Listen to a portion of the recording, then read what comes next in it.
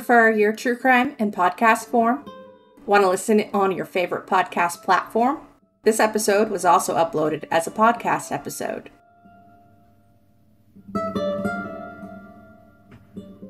This episode is not intended for children.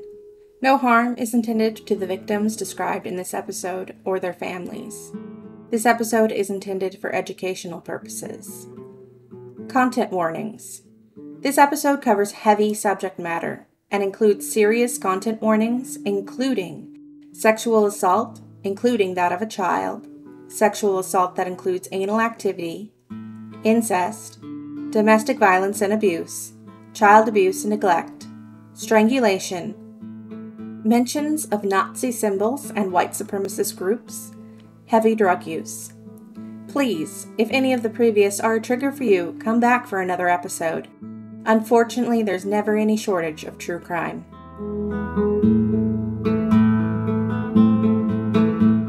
Hi, everyone. If you're here from last episode, welcome back, and thank you so much. If you're new, I'm Lee Nix, and this is my podcast, A Memory of Malice. The memory I have for you today is, well, it's not a pleasant one. I'm not gonna lie. I did wonder about trying to keep the perpetrators in this case uh, some kind of big secret and do a big reveal, but decided that's gimmicky and I wasn't going to do that to you. The case I'm covering today is the murder spree of James Gregory Marlow and Cynthia Lynn Coffman. I'm covering all three of their murders. And some of you may Google this case and see five listed elsewhere, but I'll cover that misconception in episode three. Right, this episode is going to be a two parter. There's lots to cover, too much, I think, to jam into a single episode. So I'll be splitting this case into two, and keep in mind that the content warnings cover both episodes. I did that because I didn't want someone to become interested in the first episode and realize there was something that they couldn't handle in the second episode. So I put all the content warnings in both episodes. This case is rough, but it's also very bizarre. It starts with a meet cute between a white supremacist and an ex Catholic schoolgirl an ass tattoo that somehow becomes court evidence, a hit taken out by a Kentucky biker, and ends up in what almost became a set of serial killings. Or was it almost? Also, my most informative source was the book Property of the Folsom Wolf by Don Lasseter, and it changed the names of some of the people in this case. I think I found the real names for most of them, but if I do get it wrong, I'm very sorry. Another really good source for this case was the LA Times, who keeps their archives on their webpage. Alright, I think that's enough pre case things. Let's go!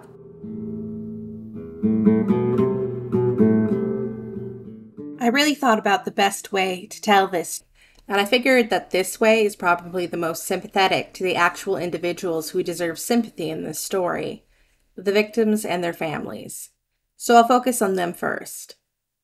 When Gregory Wildman Hill's body was found rotting in the Kentucky sun in July 1986, it wasn't so much a question of who was a suspect as who wasn't. Wildman was a biker, a heavy drug user, and he had recently agreed to testify against another biker in the area. There was no shortage of people who would want him dead. It was obvious he had been there at least a day or two by the insect activity on and around the body. It wasn't an optimistic situation for investigators hoping to find any clues. The locals made an arrest or two, but ultimately there were no clues and no leads, and the case went cold almost immediately. The troopers had no idea that events that would happen more than 2,000 miles away would solve this murder without them having to do a thing.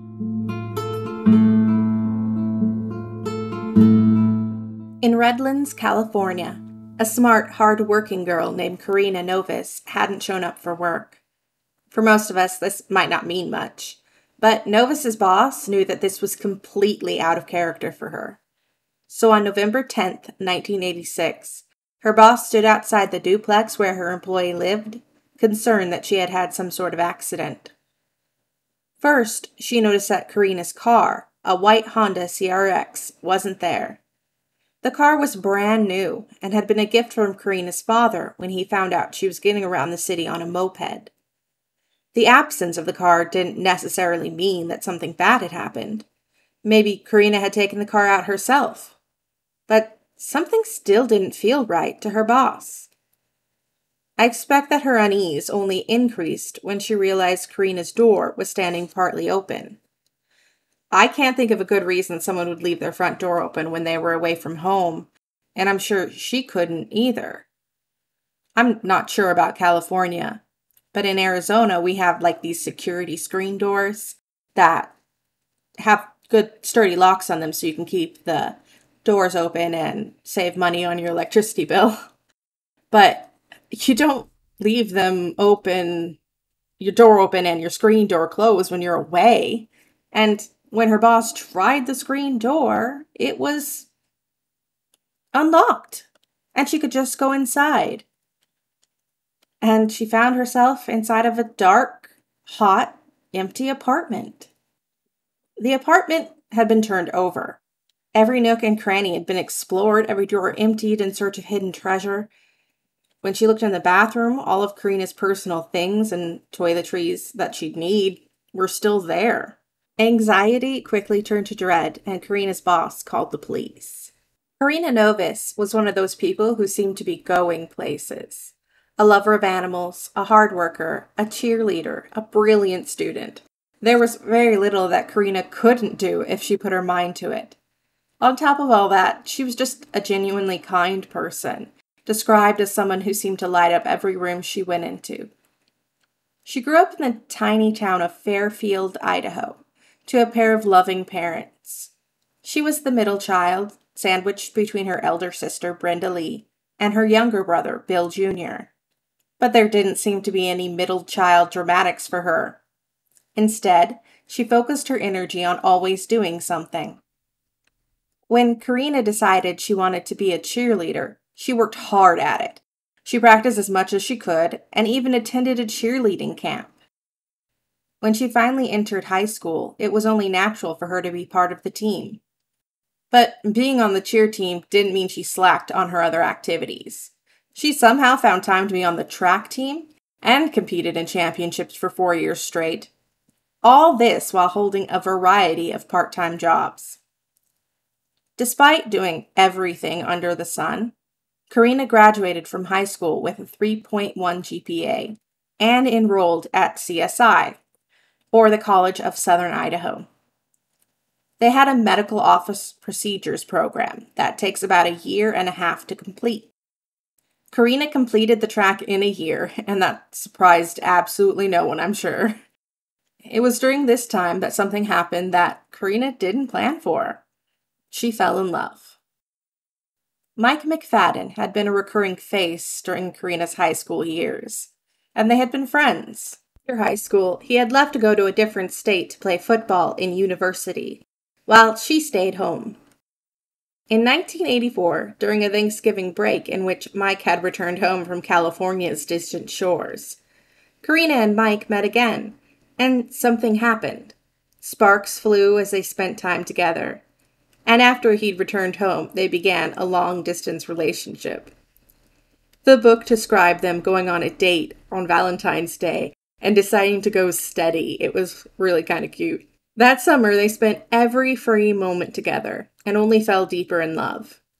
And when the fall came, Mike had to return to California. They had come to a crossroads in their relationship, and a decision had to be made. Karina decided to visit Mike in Redlands, California for five weeks. Even during this short span, Karina managed to find employment. What can I say? She's a hard worker.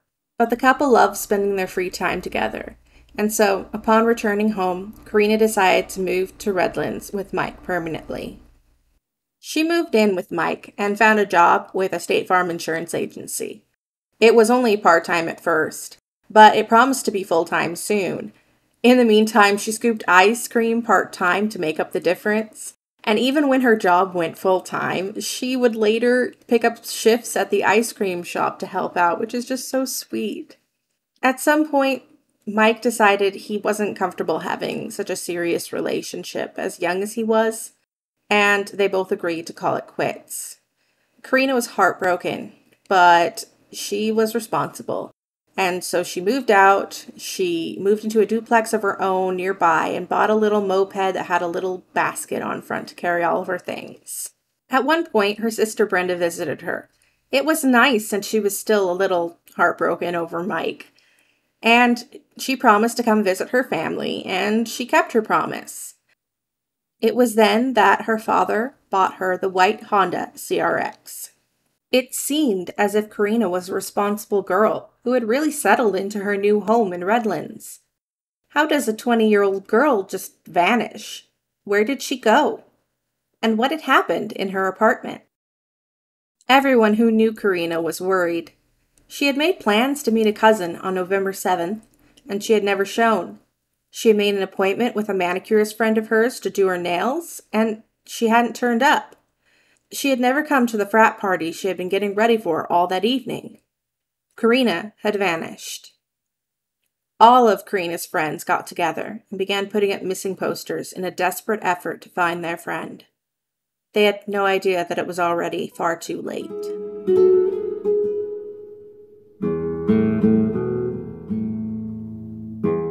A KFC worker was beginning his shift at 9:30 a.m. on November 11th when he found a Taco Bell bag by the dumpster out back. This, in and of itself, wasn't too strange. The Huntington Beach KFC was right next to a Taco Bell, so it wouldn't be too weird if some stray trash had blown its way towards the wrong franchise. He reached down to throw the bag in the dumpster, and he noticed that several cards were spilling out of the bag. The cards appeared to be ID cards. Worried that the items were potentially important to someone, the employee called the manager of the Taco Bell and turned the items over to him. The manager opened the bag inside his office, finding a driver's license, an ID card, and a California Department of Corrections card, all with different names and photos on them. There was also a red checkbook with checks inside. One of the checks had several signatures on it that appeared similar to the signature on the driver's license. The manager made the assumption that something was going on and called the police. When the Redlands police received word that Karina's driver's license and checkbook had been found in the trash, it was ominous news. That news was only compounded by the information that the California Department of Corrections card belonged to one James Gregory Marlow, a career felon with ties to the Aryan Brotherhood, and a history of heavy drug use. The ID card was a bit of a mystery to the police. Cynthia Coffman had a warrant out for her arrest for failure to appear in court, but other than that, there were only minor arrests in her background. Could it be possible that she was also abducted by Marlow? Were they looking for two missing women now? Taking no chances, the police put out a bolo on Coffman and Marlow and decided to track down Marlow's half sister, Veronica Coppers, for a chat.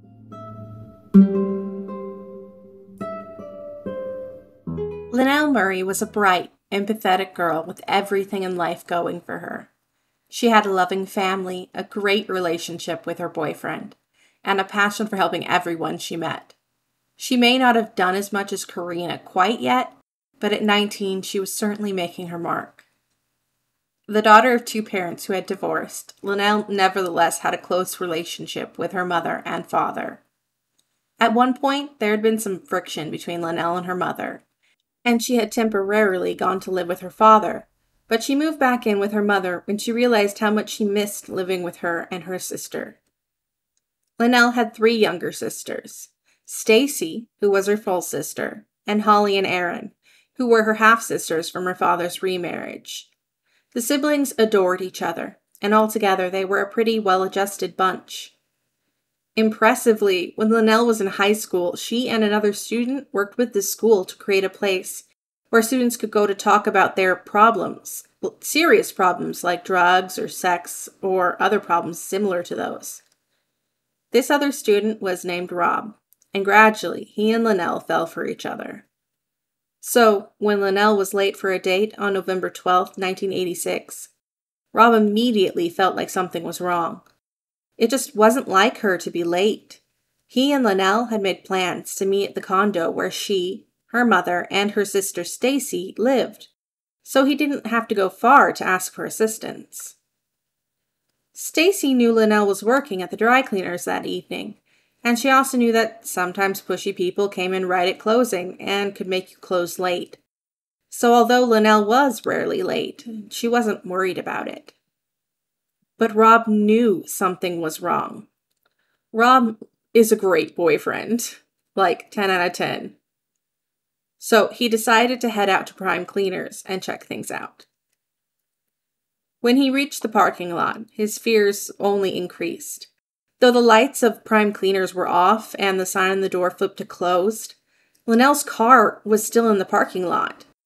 He called Lynel's home and reached Stacy, and he asked her again if her sister had come home yet. And she was now frightened as well, and she told him no, she hadn't come home. And when she hung up with him, she called her mom, who was working at a restaurant that night. And her mom immediately knew something was wrong as well and left work to go look for her daughter.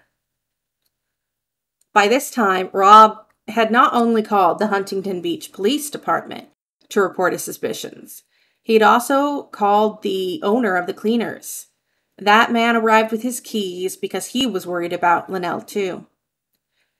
And when they turned on the lights, it was obvious that the business had been robbed. The cash drawer was wide open, the clothes racks were all in disarray, and Lynel's books were wide open on the counter, and they both knew she wouldn't have left them. The owner immediately called the police to report that his business had been robbed and that Lynel had likely been abducted. Police processed the scene at Prime Cleaners, collecting whatever evidence they could in the hope that they could find Lynel Murray, but there wasn't much that could be done. They had a helicopter in the sky looking for anything suspicious, and they put out a notice to everyone in the department to keep an eye out for her. But they were hampered by the lack of technology available to them in 1986. If this disappearance happened today, Lynel would probably have been found in an hour. But Unfortunately, it didn't.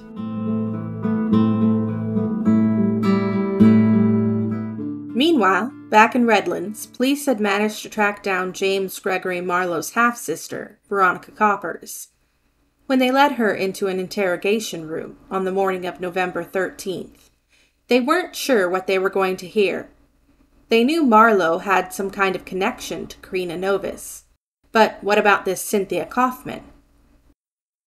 So, when Veronica told them that Cynthia Coffman, who had been introduced to her as sinful, was her brother Greg's girlfriend, they were probably a bit surprised. Could Coffman be Marlow's accomplice in all this? If so, what had they done to Karina Novis? It was when they asked Veronica about Karina Novis that they received their most shocking answer yet.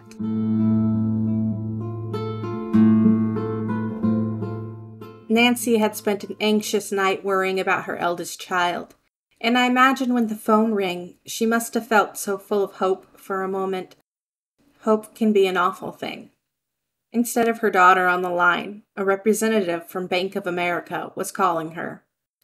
Unaware of the trauma going on in the life of the woman she was talking to, she asked Nancy if the woman trying to use Lynel's bank card had authorization to do so. Nancy quickly asked for a description of the woman and was told, Oh, she's medium height, thin, and has very short, dark hair. For a split second, Nancy wondered why her daughter's kidnappers had cut her hair. But she took hold of herself and told the representative to call the authorities. As soon as she had hung up, Nancy herself called the Huntington Beach police. Someone was using her daughter's credit card and it wasn't her daughter.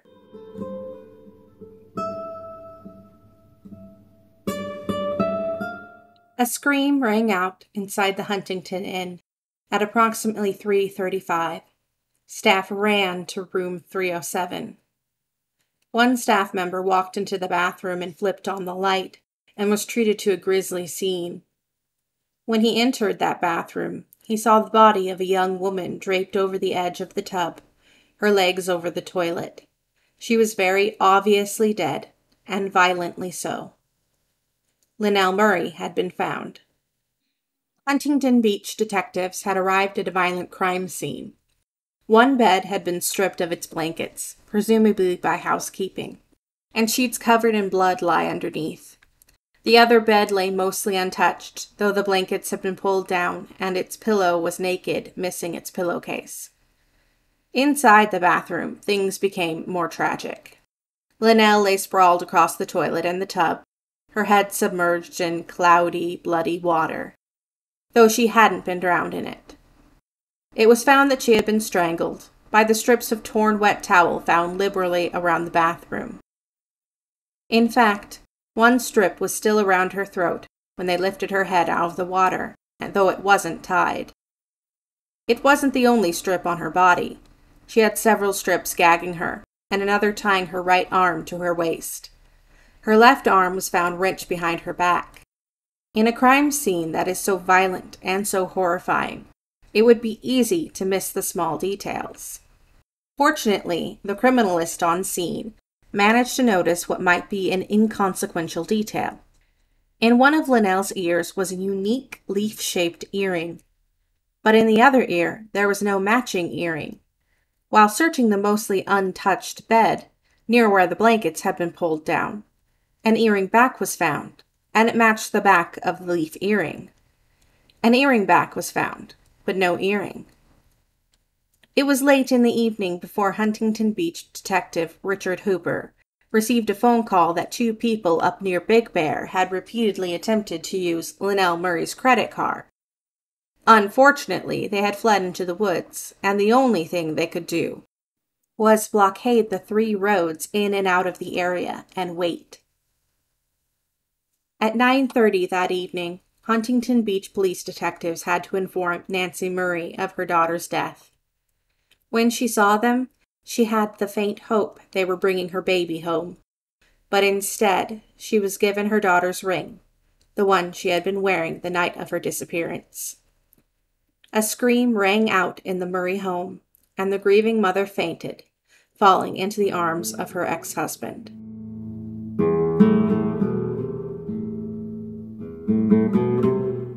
The next bit is going to feel like mood whiplash, and I don't know what to tell you. I did warn you this case was bizarre. The next afternoon, two San Bernardino sheriff's officers were driving along Highway 38 when they saw a rather odd sight. They had been told to look out for a man with a long mustache and a woman with very short hair. But what they saw well, if the suspects had been trying to be inconspicuous, they had failed. The man was wearing swimming trunks paired with a dress shirt and chunky biker boots. The woman was wearing a bikini, a sweater on top of the bikini, and high heels. They looked like they pressed that random outfit button in Create a Sim. It was just very weird. So the sheriff's deputies immediately pulled over and another sheriff's office car that had been following them not very far behind. They saw them too, and they did one of those UEs that I imagine is like in a cartoon where it's on two wheels and they just around. Um, and everyone's got their guns pulled, and so it was a pretty easy arrest altogether. The only struggle there was was when somebody tried to take Cynthia Coffman's enormous black bag from her and she argued that she needed it. She needed it, don't you know? And the trooper arresting her was like, You're going to jail. You don't need anything. And he wrested it away from her while she was tussled into the back of a squad car. And he looked inside of that bag and saw the handle of a handgun, which might be important later and it might not. I don't know. So, who were Marlow and Coffman? How did they get Lynel Murray's credit card? How did their ID end up with Karina Novis's near a KFC trash can? Did they kill Lynel Murray? And just where was Karina Novis? How does this all relate back to Wildman Hill? And what about the ass tattoo I was talking about in the beginning? Well, I'm out of time for this episode, but I'll tell you all in episode 3, part 2 of Marlow and Coffman.